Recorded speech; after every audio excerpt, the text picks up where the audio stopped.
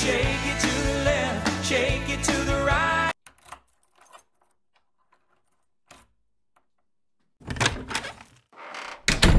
Uh, uh, to we're coming to take me away. Ho.